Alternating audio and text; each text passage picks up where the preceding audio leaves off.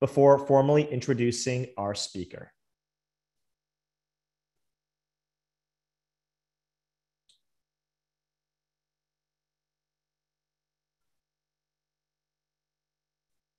Welcome, YouTube and Stanford communities, to the Entrepreneurial Thought Leader Seminar presented by STVP, the Entrepreneurship Center in Stanford School of Engineering, and BASES, the Business Association of Stanford Entrepreneurial Students. I'm Ravi Belani, a lecturer in the Management Science and Engineering Department and the Director of Alchemist and Accelerator for Enterprise Startups. Today, we have one of our very own. I'm very excited to welcome Lynda Kate Smith to the Entrepreneurial Thought Leader Seminar. Lynda is a colleague of mine and, and also a fellow Fenwick and West educator of entrepreneurship in the School of Engineering at Stanford. Within Stanford, she is famous for teaching global entrepreneurial marketing in the Department of Management Science and Engineering. That class draws on expertise that Lynda's gained as the Chief Marketing Officer for companies or the VP or SVP of marketing for companies that have included Twilio, Jive, Genpact, Nuance, and Genesys Telecommunication Laboratories. She's currently a consultant and fractional CMO for M Particle and Misty Robotics, and is an advisor for a variety of developer focused companies from low code development platforms to smart contracts and cryptocurrency companies. She also serves on the boards of CoderPad and Clickatell. Her global entrepreneurial marketing class is around 20 sessions that covers the whole gamut of marketing. Um, we've asked her today, we've invited her today to try to give us a snapshot in the next hour of that, and she's graciously accepted. So without further ado, please welcome Lynda. All right. Well, thank you. And I'm assuming that no one has run away from the topic uh, of marketing. So we're going to be uh, good to get going here and super excited to share this with you. I am passionate about marketing. And I am passionate about marketing to developers as well as other audiences. So let's see if I can't give you a few of the lessons that I've learned across the journey that I've had and the variety of companies that I've had the chance to work with. So we're going to talk about what marketing is again, uh, and I will I make jest of this, but now that I do a lot of work with developer marketing, I know that there's one thing that marketers hate worse than or developers hate worse than marketing, uh, and that's sales. But we're going to talk a little bit about what marketing is, and then we'll go through my favorite lessons learned. Again, as Ravi said, in the GEM program, you would get 20 sessions that covered a lot of this. Well, we're going to give you the, the snack size portion of this today. So let's get started with what marketing is.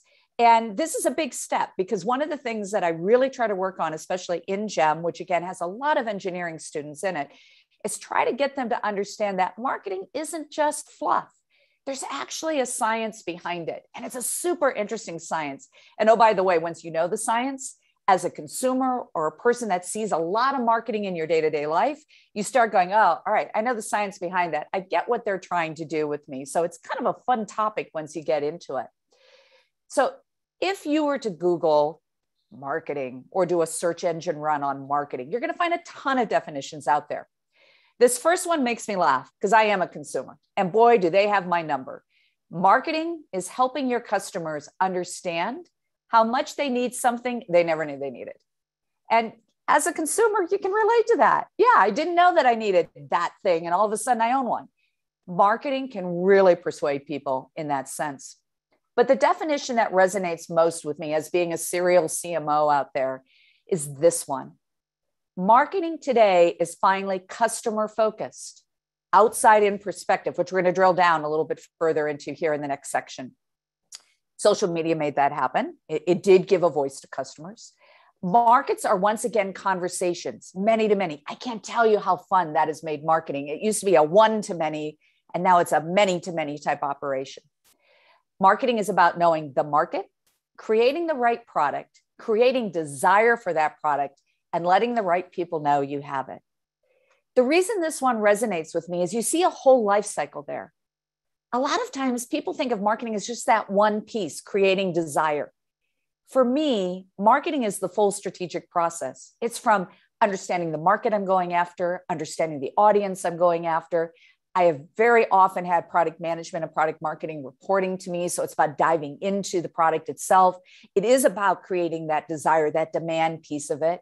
And then it's about the customer. and retaining that customer thereafter. It's the whole strategic process. The other thing is, marketing is a strategy. And when it's really done well, it can really drive a company forward. When it's not done well, then it's just a bunch of random tactics. So, as entrepreneurs, when you start thinking about marketing for your company, something to really think about is how do I make this strategic? How do I make it proactive? And how do I not let it just end up being a bunch of tactics that I'm not sure I need or not? Now, what really is come to be is marketing is about growth. Our job as marketers is to drive growth and to drive it profitably.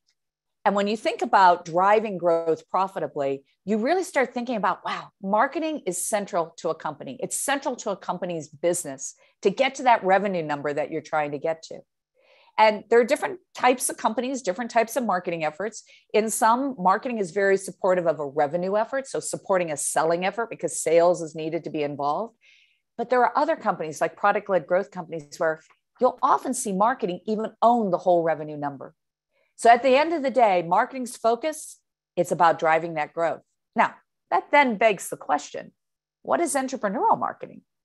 Well, it's based on the same fundamentals of traditional marketing. We use the same push tactics, pull tactics. We have the same fundamentals about driving that demand, but there's a different orientation. When you're in an entrepreneurial company, and oh, by the way, that can be an entrepreneurial organization within a well established company. But when you're in that entrepreneurial mode, you got to move fast.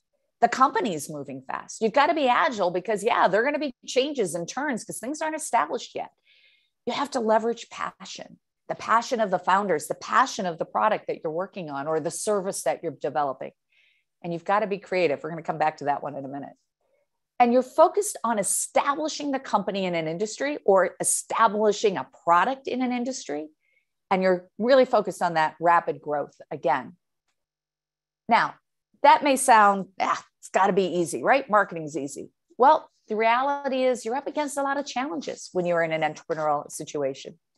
The company, the product, and the service, well, they're likely not known or maybe in a really early stage maybe the product isn't a whole product yet. Maybe there are only pieces of it there or it only has some of the features that you know your audience really wants.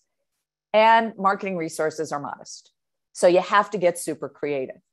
So it is more challenging to do marketing in an entrepreneurial environment but boy you're going to learn a lot from that.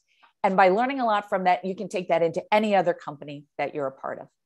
So that gives you a little bit about what is marketing and what is entrepreneurial marketing in a nutshell? So let's start jumping into the lessons learned. One of my favorites really is this idea of the importance of a go to market strategy. And you may be asking yourself, well, doesn't everyone have a strategy? The reality is no. And I'm not going to mention the companies who don't, but I've been a part of them, I've come into them, I've advised them. And what you really want to look at is what is the go to market strategy going to be for this organization? Because otherwise, you are likely going to hit a wall. So, what is that go to market strategy? Well, sometimes you'll hear people define it as just really how am I going to go drive revenue? How am I going to just again create that demand, sell my product? I believe it's much broader. And it really is going back and to really creating that plan that's going to specify how that company is not only going to reach its customers and achieve advantage, but it's going to include things like what is the product that we're delivering or the service offering, if that's a part of the product. It's going to take into factors like that pricing and, and distribution. It's a much bigger concept, but it's what aligns an organization. And so when you think about your go to market strategy, there are key questions that it's going to answer. It answers what is the market that we're going to pursue? It's going to answer, well, what customers in that market are we going to sell to? What is that actual offering, the product, the service, the combination of product and services? That you're going to bring out to your market, to your customers. It's going to lay out what are those channels? How are we going to reach the customer? What's our sales and distribution model? How is marketing going to actually create that demand?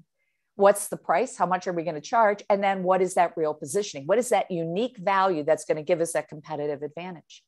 This gets the whole organization aligned. I've walked into very mature companies, Series D, Series E, well along their journey, and I'll walk in and I'll talk to the marketing team and say, okay, tell me who our target audience is. What are, what are we creating content for? Who are we creating content for? Oh, CTO, definitely the CTO. And I'll walk over to the sales organization and I'll say, well, who are you selling to? And they'll say, oh, never to the CTO. We really go in and we try to we try to sell to the developer or to, to the engineer. Oh boy, I've got a disconnect already between those. Then I'll go off to product and I'll ask, and what you start finding is if everyone's not working towards the same market, the same customer, building the same offering, thinking about it in the same way, you're going to waste resources. And you're going to find at the end of the day that you're going to hit a wall. So, definitely things that you need to think about. And so, let's dig into what those benefits are. It clarifies that plan and direction for everyone inside, it establishes that path for growth. It maximizes that competitive opportunity. It reduces the time to market because everyone's not going on different swim lanes, everyone's going down the same swim lane. It reduces the costs, it maximizes the profitability. You're not wasting. It increases the ability to adapt to change. Boy, think about it in your entrepreneurial environment. I've been through a number of companies now where we're going after one direction, and yep, we have to change and move to another direction. And that's okay. You're flexible, you're agile, and everything has to move with it.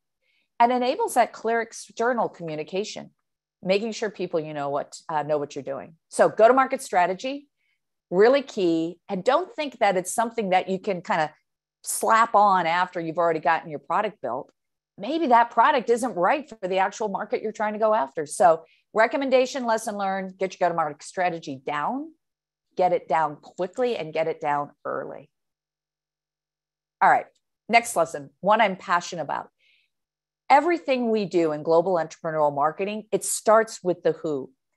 That who is both the target market you're going after and that individual within the target market that you really need to reach. And one of the fine things that you'll find is when you really center in on the who, there's so much more you can do with what you're doing as a company. And again, it ties back to the to the go-to-market strategy. It's a really key part of it. So, when you think about the who, when you think about really coming in and aligning on it, there's a real reason for it. All right, maybe this gets back a little bit to the science. It's that recognition that every market is made up of distinguishable segments of buyers, and they have different needs, different buying styles, they have different responses to offers. It's about this idea of thinking outside in rather than inside out. So, yes, it's an art, but there's also a science to it as well. And when you think of the value of segmentation, again, it's an alignment, it, it's a tool that helps us all go together. It improves your decision making. What product is going to be the right product that's going to appeal to that market? What's the right marketing motion for us? What's the right sales motion for us? It enables that better use of resources, just like the go to market strategy does. Super key when you're in an entrepreneurial environment and money's not everywhere, resources aren't everywhere. It makes it easier for us as smaller companies and startups to compete. It makes it easier to disrupt the market because we're laser focused you can't be spread all over. And I've had people ask me, well, how many target markets should you have? You know, how many target audience you should have? My answer, get as focused as you can. Because at the end of the day, if you're chasing too much, it's not going to work. Your resources will be spread so thin that nothing actually makes a dent. Now, it may be obvious what a target market is versus an audience, but I'm going to recap it here because a lot of times they do get conflated. The target market is a group of customers that you're going to go after from a business perspective. It's a group. The target audience defines that individual that's either going to buy or use the product. So there is a difference. One kind of nests in under the other. So when you think about your target audience, it's the person, the individual. When you think about your target market, it's that whole group. So I'm going to give you a couple of frameworks here when we think about target markets, there is a rubric for finding them. You're looking for where there's a problem or an opportunity where there's not already a great solution. And that problem or opportunity, the positive side of a problem, is a very high priority relative to others that that same group might spend their money on. You want to make sure that the market would find your offering compelling. So get out, talk to the market that there's evidence that customers can and will pay. I've also run into the situation where I'll have like the first bullets there. I, have got the I've got the problem or opportunity doesn't have a great solution. It's a high priority. They find my offer compelling, and when I get out there and I say, "All right, you want to buy it? Oh, you have to spend money on this." or oh you're going to charge that much oh i'm not interested in it anymore there is an idea there about getting out and really testing that people will want to pay for it early on so you definitely want to do that and that the market segment is large enough that it can be attractive that it can actually make a viable business for you. So give you a little example. This is from my early days of twilio. Twilio is so much bigger now and going after so much more. But when we really sat back and we said what is the problem? It was about integrating communications into web and mobile, web and mobile apps. There wasn't an easy way to do this out there. When you think about where we saw this problem, well, it was with developers. And in particular, we sub-segmented the world of developers. And the one we really focused in on were the entrepreneurs. These are developers that code to build a business. We asked ourselves, okay, on a scale of one to 10, how big of a problem is? And we felt it really was a 10. And one of the reasons Twilio has been so amazingly successful is it is a company that was built by developers for developers. So we knew the problem. Our CEO and co founder understood the problem because he had tried to do this before integrate communications into a web or mobile app. The reason it was such a big problem is telecoms, they were a legacy industry and they had such a different vernacular. They were so different in terms of how they operated. Would your offering be compelling? Yes. It was about APIs. The API culture was just really starting. And it was something that developers could really use and use easily. Their time to value was super fast.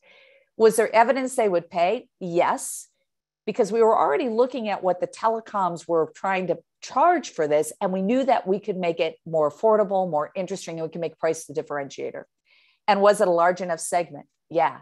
Think about how many companies could leverage communications into their web and mobile apps to improve their businesses. So we were very, very confident about what we had out there. So our target market was developers. In the earliest days, we were really going after those entrepreneurial developers, developers that were coding to build a business. All right, let's switch over to audience. Meet Misty. Uh, Misty is a platform robot. It is a robot that developers can actually build skills for robot applications. And so, talk a little bit about the audience. The audience really informs the messaging that you're going to deliver to the market. If you know your audience, you can get that story right. It informs the demand creation, it informs the sales approach, and it informs the product. And so, it's why it's so important to really understand that audience. And to give you another framework, the way as marketers we do that is, you know, we build out personas. Now, you may think that a persona is just a B2C, a business to consumer type tool. Well, no.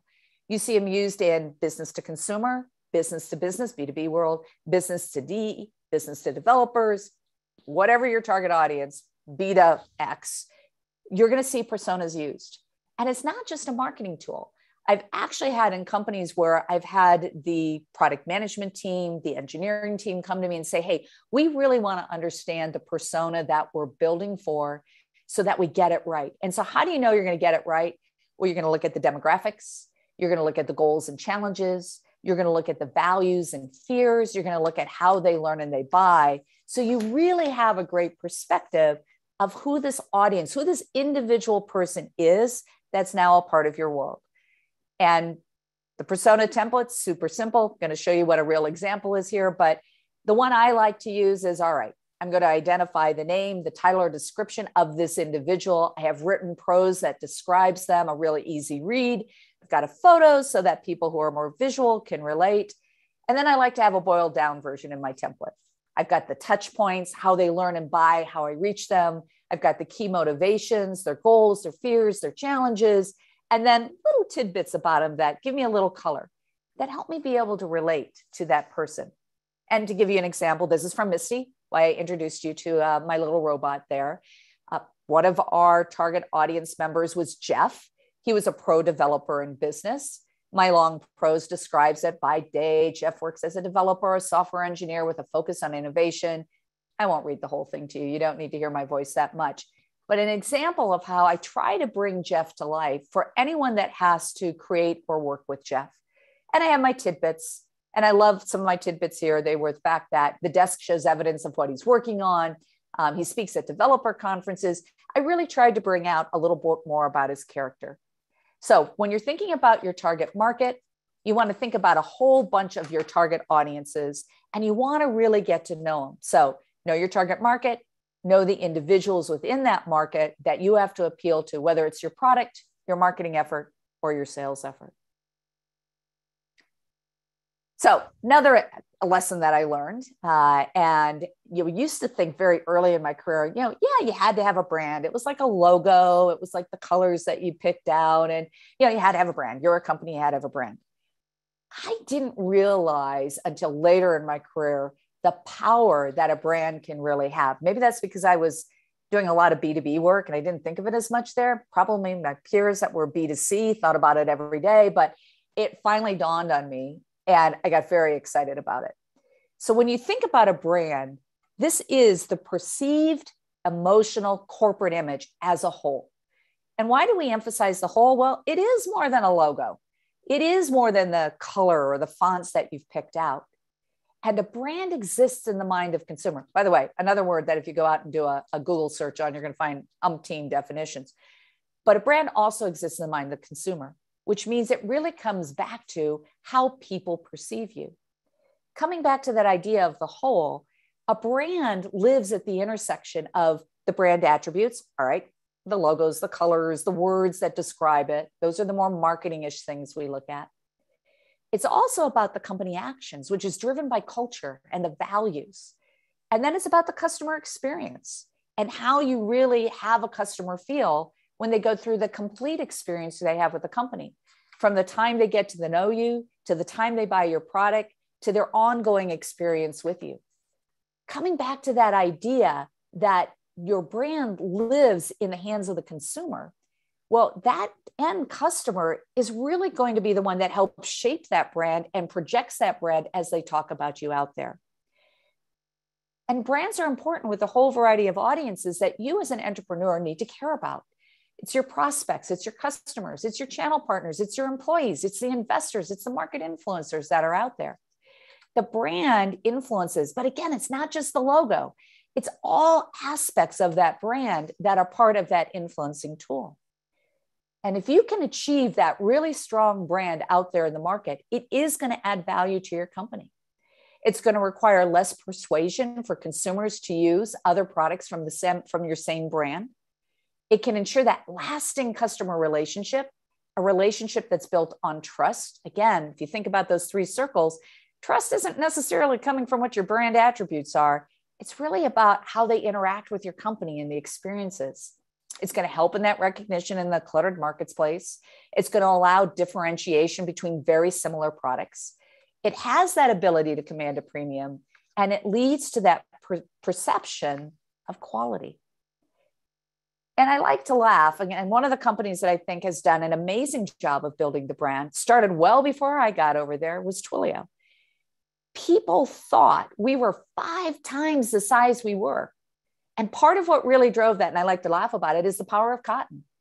We had Twilio t shirts all over the place. And we, as individuals who had coded, had developed our Twilio app, had our red track jacket. And people would see us out there and it was like, oh my gosh, you seem to be everywhere. Well, it was how we deployed our brand out into the marketplace. And that power of the brand was super strong and it really helped carry the company a long way. This iconic Twilio t shirt still exists today, and the brand is still stronger than ever.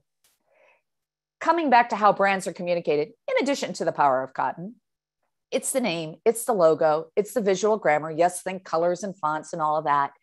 It's the voice. And I want to just pause on that one a little bit because people forget about the written word is so much a part of your brand and how you use that written word whether it's the customer support tickets that people are, are, are, responding to, it's the website that you're creating, it's the way you actually talk to customers when you're engaging with them. That voice of the company carries so much power. And then some companies use taglines, everyone has marketing, has messaging, and marketing really leverages all of these to bring that brand to life. Brands also create bonds with companies it really is that emotional attachment. Yes, there's an intellectual side of why do I want to use your product or your service, but there's also that emotional side. So your brand is also creating that really tight bond. The company that I'm currently the CMO of is a company called mParticle. This is a CDP, a customer data platform. This is a a B2B and a B2D play that we have out there. And one of the things we decided to do was really try to anchor more on the dev eng audience and make sure that our brand related to them or relates to them. And one of the first things we did was we went and we looked at all of that messaging. And we really tried to take it to more of a voice and more of a messaging palette that would appeal not only to the marketers that we appeal to, but also to that dev eng audience. What did that mean? Well, we got rid of the hand wavy stuff. None of the we're the best and we're the greatest. We really try to bring it into centering in on value. And the other thing we've done, just introduced to the world, is a little guy named Higgs. Uh, he is a capybara. And what we wanted to do was bring a mascot to life to soften a little bit of the, the rough edges of the brand, to warm the brand up. And one of the key things we wanted to do was really think about how do we want people to feel about the brand? And the capybara is an animal that interacts well with everyone, with all the other animals out there. And part of what we do as a CDP is we allow people to move their data, bring it in, provide that quality uh, to the data, governance, privacy, apply all those good rules to it, and then allow them to take it out to lots of different destinations, partner destinations. Capybara seemed right on target for that. So brands are powerful. Brands can do a lot for a company and think about it early. Sometimes people will think, oh, worry about all that branding stuff once I have a product in market. Every day that you waste, every day that you don't have your brand established, you've wasted the time, you've wasted the energy of a lot of the efforts you've already got out there. All right. Creating demand. This is the part that a lot of people really think is yes, this is what marketing does. You create that demand in the market. And it is, it's very important. It's not the only thing, but it's very important. It is one part art and one part science. So let's start off with the science. There's something that's called the hierarchy of effects. It's been around for a long time. I by no means invented it. I've borrowed it, I've leveraged it. All great art is a replication of former art. But when you think about the hierarchy of effects, it really describes that world of I have no idea who your company is or what your products are. Oh, you're an entrepreneur. Guess what? That's the world you live in. And then you bring it down to I have to drive awareness. But awareness isn't enough. I need the people, that target audience I'm going after, to really get the knowledge about it. And once they've got knowledge, now I can get them to where they like it and then I've got to have them have a preference for it over what else is out there. And then I got to drive that conviction. And then I got to drive to purchase or action if it's signing up, uh, as an example. The other thing you'll hear about this is we'll call it maybe the funnel. And we'll talk about how awareness, consideration, and our action are driven. But this is really core to creating demand. And guess what? Companies use different tactics, different strategies as they work through this whole hierarchy of effects. What a company does to create that awareness is going to be different than what they might do to create that preference, that liking. Thinking about, think about, you now know about a product, you go to their website, maybe they have a freemium offer. From that freemium offer, and after you've used it, then they communicate with you about here's how you might upgrade. All different tactics I challenge you to think now about the different companies you interact with, whether that is a tool for business or it's a tool for your own personal life. Think about how they get you all the way through from not really knowing it enough to do anything all the way through to where you purchase or you take that action. They'll start driving you a little bit nuts, I guarantee you. The other part of the science is how perceptions are formed. When you think about it, if you just see something once, an ad once, a billboard once, Maybe it got into the sensory register if it was good, but boy, it's not in your short term memory and it's certainly not in your long term memory. As marketers, not only are we trying to move you through the hierarchy of effects, we're trying to get into that long term memory because that's where the real value is. Because once you're in that long term memory, you're going to be word of mouth for me. You're going to go out and talk about me and really help others to know about me. Or you're going to decide to use me on your own. Maybe you didn't need me when you first learned about me, but now you really do need my product or my offering. To get people into that long term memory, it's all about that strength, that repetition, getting it to a point where that signal strength is so strong that the consistency and frequency of knowing about me is so much there that now I am a part of your long term memory. So, another piece of the science So you're going to think about how do I move people through the hierarchy of effects? And I'm going to think about how do I get you in that long term memory? So there's that retrieval, that word of mouth power that comes. And by the way, the brand is a big part of this as well. Okay, this isn't art or science. This is just common business sense. When you're thinking about creating demand, you got to make sure that the lifetime value, LTV, is greater than CAC, the customer acquisition cost. If you don't do that, if you have the flip, you're going to end up in a situation where there's just not a business model that works. You're going to see a little uh, sock puppet down there. And some of you may have heard of this thing called the dot com bust ages ago.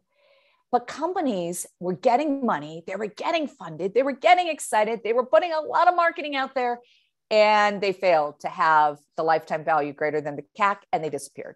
Sock Puppet was with a, a pets uh, company that was delivering pet products out to people. Really good concept, but because they didn't get the business model right, it unfortunately didn't last. All right. One last piece of let's call it the science side of this, we'll call it the strategy side of it. When you're creating demand, you do have to take a strategic approach. This isn't just about random tactics that are cool. Oh, I want to have a Facebook page or yeah, yeah, you know, let's go out and, and let's do a little bit PR out there. You have to start with the who. Who are we trying to reach? And once we really understand that, who our target audience is in the target market we're going after, then we talk about what we're trying to accomplish, what our objectives are we want to think about what our strategy is to be able to get there. Then we want to think about where we're going to reach them as a part of that strategy. Then we think about what we're going to say. What is that messaging that we need to project? But it all comes back to a strategic approach. A strategic approach, not only with everything that I'm going to use to create demand, but actual individual tactics as well. And when I'm going about trying to reach people, there's kind of two flavors of doing it there's inbound and there's outbound. The outbound's more what we've been used to as marketing, kind of pushes the message out there. It's really talking about me, me, me. And you have to do some of that. It's just, it's part of marketing. The inbound is what I think we've all, as consumers or recipients of marketing, have come to appreciate a lot, which is it's really more about that pull. It's about drawing my audience into me. It's about really thinking about what's going to be useful to them. And it's not interruptive that outbound stuff, yeah, it tends to be a little more interruptive. And this all make more sense when you think about the tactics associated with each. Inbounds that content marketing. And we're not talking a, a seller sheet. We're, we're talking about really good, useful information, the top five ways of doing X. It's about search engine optimization, influencer marketing, the social media marketing. And then outbounds, all that stuff we've traditionally looked at. It's the PR, it's the AR, public relations, analyst relations, it's advertising, direct mail, webinars, read the list. They're all out there. We all know them. The art is picking the right ones for the audience, being strategic about it. What am I going to use of those tactics for the awareness? What am I going to use for the consideration? What am I going to use to drive that action? Hmm. Laid out horizontally, but it's a whole lot like that hierarchy of effects that we talked about.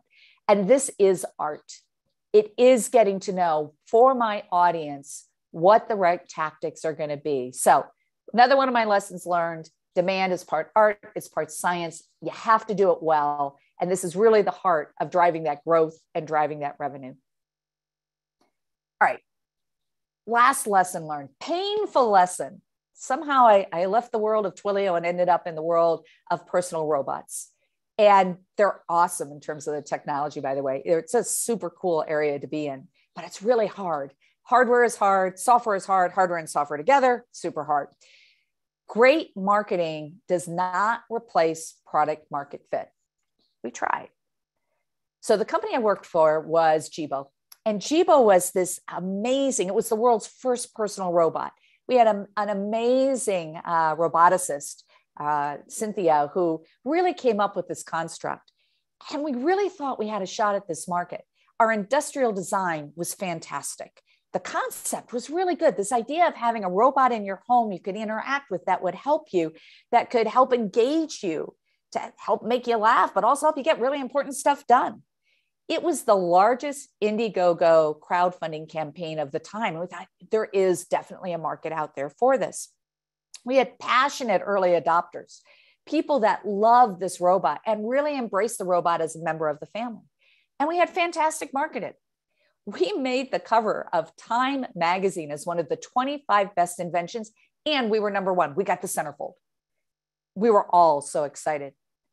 But we ran into the problem that the robot was coming out just about the time that this thing called a smart speaker was coming out. And those smart speakers, which are all over your home, pick your flavor, had a lot more utility. And it made people feel like, well, it's a social robot, but it should still have the, the same utility of, of, of an Alexa, right? We didn't. We had not been able to yet build, build out that full portfolio of skills. And unfortunately, we had to close the company down. But as an entrepreneur, as you know, that is part of it. That can happen. But you want to guard against it. So, why do great ideas fail? And there's so many of them that are out there. Well, it may be that it's a nice to have, but not compelling. That was a little bit of our problem with Jibo. It didn't meet the needs of the audience. That thing about utility, it just didn't have as much utility as they expected for the price point. It was before its time we don't have many social robots out there. One was just announced here lately. Uh, that was interesting, but at the time, it was before its time. There was no market for the product. The market wasn't big enough. I think we could have overcome that. We had enough ideas about where this could be compelling that if we could have gotten the skills, I think we could have done it. An element of the marketing was, well, I don't think so. I think we had the right marketing. The product doesn't work. Well, no, the, the product worked. It just didn't have the utility. And then there are always going to be things out of your control. This is a great checklist if you're an entrepreneur. Go back and look at it. Am I building a product that is destined to fail, or can I overcome these items? Now, this is my last lesson. So I didn't want to end up on a, a very sad note. The good news is Jibo is back. Jibo is not part of the original company, but the assets were picked up by NTT Disruption. Jibo is making another run of it out in the world. It's an amazing interaction. Go to the website, check it out. You'll see what Jibo is about. But not all stories have to end on a sad note. Luckily for us, Jibo is back. But originally, we did not have the product market fit, and we did have to close the doors of our entrepreneurial operation. So, your mission define your go to market strategy, do it early, do it at the beginning. Don't hit the wall get your product, get the product right for your audience. Told you it all starts with the who. Get the marketing right for your audience, and then create a brand that's relatable by your audience. All right, that's it. That's all I got. Those are your lessons. I will turn it back to you, Ravi. That was awesome. Um, thank you. That was a fantastic overview, and it's I it was for me. I, it left me wanting more. Um, as you and so, gang, if if, if this teases you or it, it whets your appetite, there is a, there's 20 sessions behind this. If you want to dive in deeper, check out Global Entrepreneurial Marketing next year. Um, I'm going to open up uh, to, to the students have, have a bunch of questions. Um, and so I'm going to prioritize the students first, and then I may ask a couple questions too as well. Um, but Brian right now is the most upvoted question.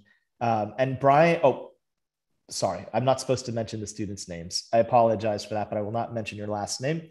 The question is this though what do you think about most people having a negative view of marketing, especially exploiting people's psychology to sell them what they wouldn't want to buy? What percent of marketers do you think would care about customers over profitability?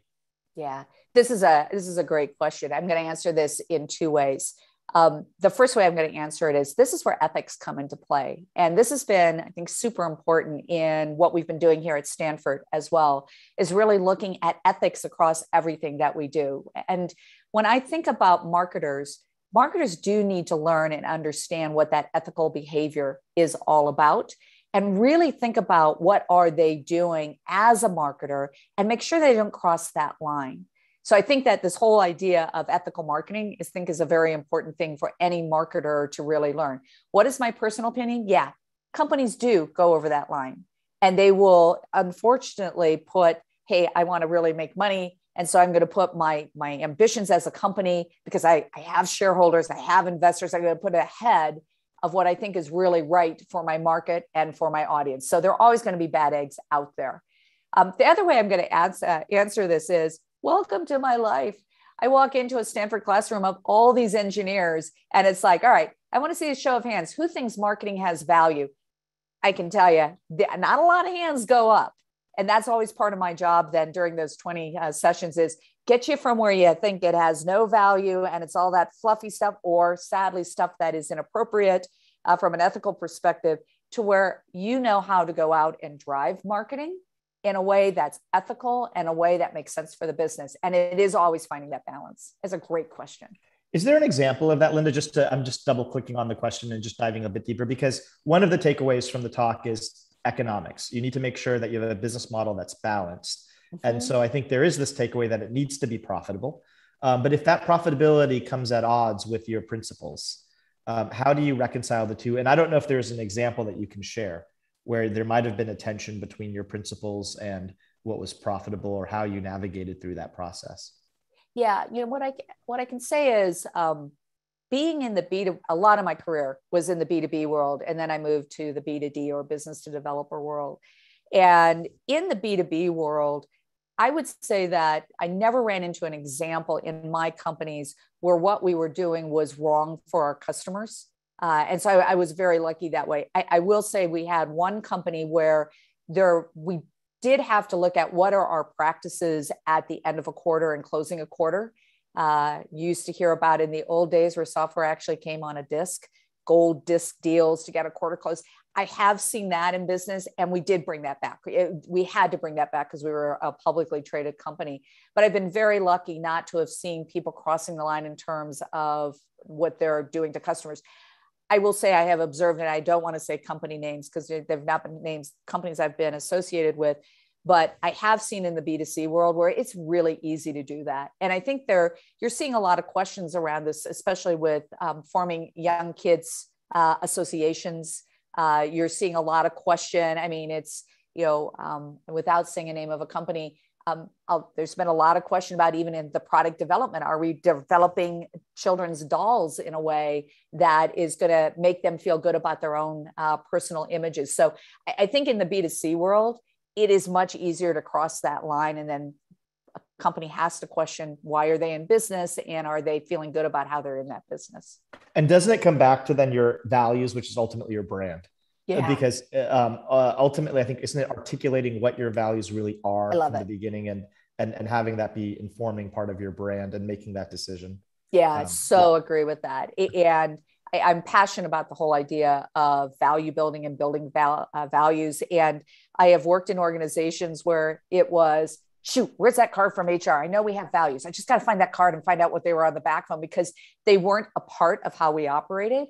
And I have worked with companies where the values were taken so seriously that they actually did drive the business. Um, they were the underpinnings, uh, underpinnings of how the company operated. As entrepreneurs, you get to make that choice. And so another thing I would say is don't wait to select your values until way downstage. Oh, I guess we're big enough now. We need to have values they can be such powerful tools for building the brand, but for building your organization, hiring the right people, making the right choices, as you're pointing out. Seems to me, I think we need to have at Stanford, we need to have an ethical marketing course. I think there's a new opportunity there we need to build. Yeah, I, I, I think we have to decide that we have to we have to figure out the marketing for that too to make it sure that it's something that will uh, appeal to people. But I agree. I think I think under mark packaging that would be important in understanding that. Um, and I couldn't agree more regarding the values. Um, I'm going to go to the next question. The next question is social media has likely made marketing far easier than ever before. Does this mean marketing is more competitive now? How do companies market in a way to stand out in a crowded social platform? Wow. All right. This is a this is a, a great question as well. I, I sadly can say that I knew what marketing was before social and what it's been after. Some of you may not believe that. Um, but uh, I would say that social has actually made it marketing both easier and harder. Um, one of the reasons that it's made it harder is the fact that I have so many more platforms that I can go out on. And coming back to the audience, I need to make sure that I'm going out on the platforms that they're really engaging in. I also have to recognize that, quite frankly, people are on social not because they want to see my advertisements or see me promoting myself or my company they really will only embrace me if I'm a part of that community. Now, yes, there is um, there is an advertising element. We all use these platforms to do advertising. But if I really embrace social in the way it's meant to be, that inbound mechanism, it's about becoming a part of the community, understanding what I can share without going all salesy, all marketing on people. So it's actually, it's a real, it's hard. Um, so it's actually by, you know, coming on board, yes, it's made it easier, uh, but it's also hard. It's a, it's a real discipline that you have to get to understand. Um, on the easier side, you know, what I would say it has done is it has given me additional avenues. Everyone is on one social platform or the next. So I can't ignore it as a tool that's out there. What I have seen companies wrongly do is they'll automatically say, like, and to use a, a, platform, I need a Facebook page. You know, all right, why do you need a Facebook page? Everyone has a Facebook page. You got to be on Facebook, right? To be a company you really want to go back to the strategic aspects of this and you want to really go and go back to the audience. What is them trying to accomplish? Are they on that platform? How do they use that platform? And what's my right engagement uh, means on that? Did i get all of that question? There were a lot of nuances to that. Oh i think i mean that it's a, it was a deep question but i thought that was a deep answer too. Um, what i mean just to probe on that last week we had justin Kan who was talking about how he's really excited. I know i'm asking this because i know you're getting also involved in crypto um, but he was very excited about the possibility of creating these community owned ventures where crypto is enabling the users to be the owners. Um, and I don't know if you're if that's a theme that also you're seeing or if that shifts what marketing means when your customers and your owners are combined. Um, it, or yeah. Yeah. So um, you know, let's let's kind of pull the word ownership in, you know, kind of pull it apart when I build a community uh, for my customers, and this is something we do actively do, uh, especially for reaching developers, um, what I really want to think about is all those people that are in my community are actually owners. There may be no financial transaction in the community, but they own the brand of that community. They are such an important part. So, in my marketing effort, what I have to really understand is what are the needs of my community members? What's going to be important to provide value to them? How do I create those engagement opportunities that are really going to make them want to stick and be a part of the community? So when I think of the word owners, no matter what community I stand up, I want to think of everyone as an owner. Now, if there is a financial uh, transaction that occurs, if there's a financial reason why people are involved as owners in that community, I think one, it brings up that ethical question again, because um, I need to make sure that the way that community is embracing and interacting with us with with each other is done in an ethical fashion.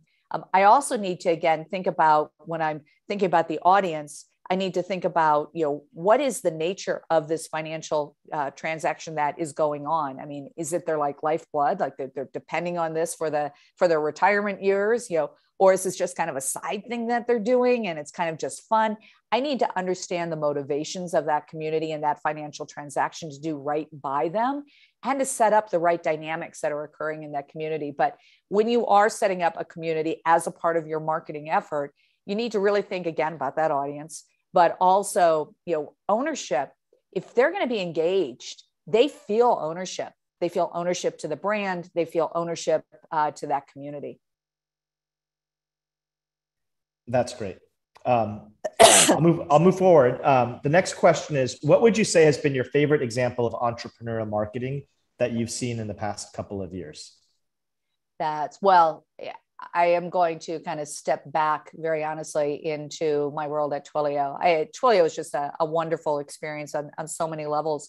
But the entrepreneurial marketing, we were really pioneering what was going on in the world of APIs, developers, developer evangelism. And I had an amazing uh, partner uh, to work with my head of developer evangelism at the time. And we really were able to build up what that construct was of how do you get out into a developer community? How do you become a part of the community and not, and that's why I hate the word developer marketing. You know, it's a, you know, it's really more about how do I create that outreach? And I think Twilio, their entrepreneurial marketing, and it started, you know, quite frankly, well before I got into it. I just had the opportunity to add po- some polish to it but what was being done to really interact with developers we you know had you know some amazing guerrilla marketing that was how the power of cotton really got started out there think think go to South by Southwest, have a, a Gatling gun for t-shirts, and you're getting everyone your your swag out there. I mean, there's some brilliant guerrilla marketing moves that were made in the earliest days. So I, am still very uh, passionate about the entrepreneurial marketing that you really saw with Twilio because it was it was just pushing so many new boundaries um, out into a target audience and target market that really was only just starting to get uh, worked uh, as an audience and as a market. Terrific. Um, next question. There's a lot of questions, so we're not going to get through everything in, in time. So I'm going to try to rush through them if I can. They're good. Yeah, but it's a sign of a lot of interest. So that was a terrific talk. Um, the next question is on a scale of one to 10, how much have algorithmic prediction models changed the marketing playing field, both in content and outreach for you since you began your career? More importantly, what do you predict will be the last human remnants of value to marketing moving forward? Wow. Okay. Boy, lots of great uh, questions in a question. Um, you know, I think that when you think about uh, how we are all now using the algorithms in our marketing, it's I, that's what something funny expression. My face is like, you know, back when I started marketing, we didn't even know what an algorithm was, you know, for marketing. It just wasn't a part of it. So it's made a huge dynamic shift.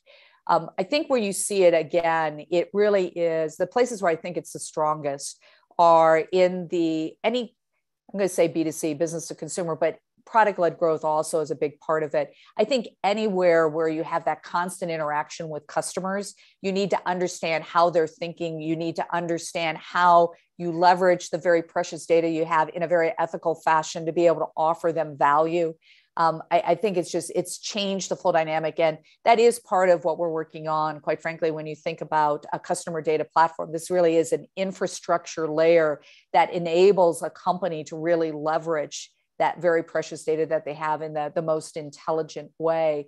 Uh, i think it is has a role in business business as well but again i think it's where businesses to business has very interactive activity with their customers. It's not a I bought it five years ago. I'll see you in five when we have to renew the contract. So I think the most impact it has is where you have that frequent interaction with customers. But it's night and day from where I started my career in terms of what we can do with data.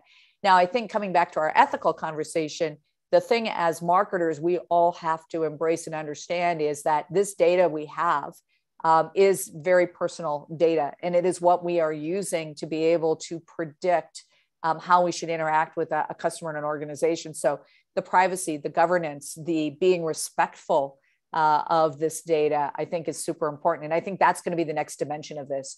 First dimension was we had none. Second dimension is, oh, good, like kids in a toy store, uh, candy store, you know, look at, we got it. What are we going to do with it? Let's start playing with it.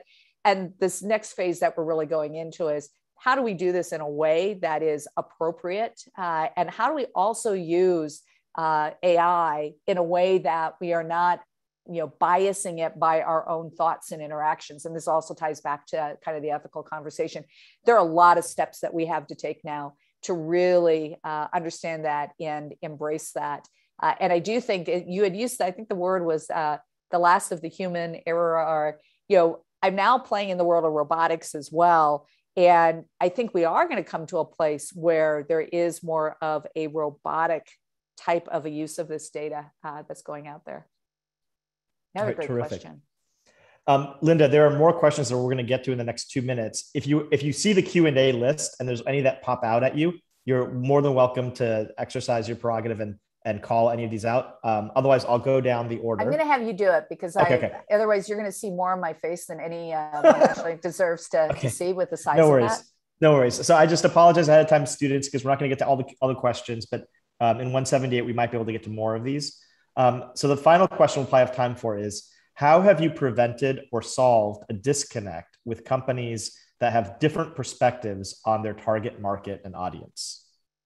Yeah, that's super interesting. Um, really, that framework that I gave you uh, earlier on in the presentation, that that really simple little table, what I have done is I have sat down and said, all right, you've got a target market you think is right you've got a target market you've got okay let's really dig in and get to a level of detail other than what you just saw in that that single slide of is there really an opportunity here that someone else hasn't solved for? Let's let's dig into that and let's dig into it for each of the markets. You know is the pro- how big is the pain point? Okay let's really look at it. So i'll use that framework very specifically to look at each of the markets And then we'll have a conversation. Once we have enough of that information out there, we'll have that conversation. And then you'll start seeing people get some reasonability about it.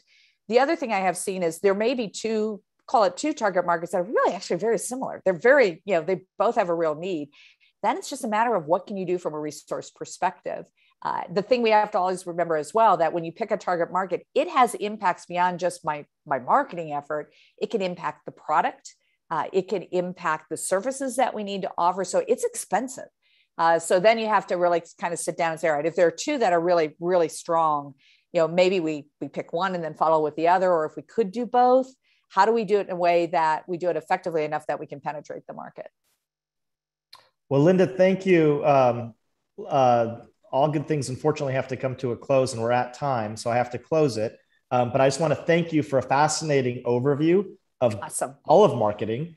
Um, and gang, again, check out Global Entrepreneurial Marketing if you want to go deeper. Uh, but that was an amazing summary. Um, thank you so much for that. And to our audience, thank you for tuning in to this session of the Entrepreneurial Thought Leaders series. Next week, we'll be joined by ThredUp co founder and CEO James Reinhart, who will talk about how he built one of the world's largest online resale platforms. You can find that event and other future events in this ETL series on our Stanford eCorner website um, at ecorner.stanford.edu and the Stanford eCorner YouTube channel.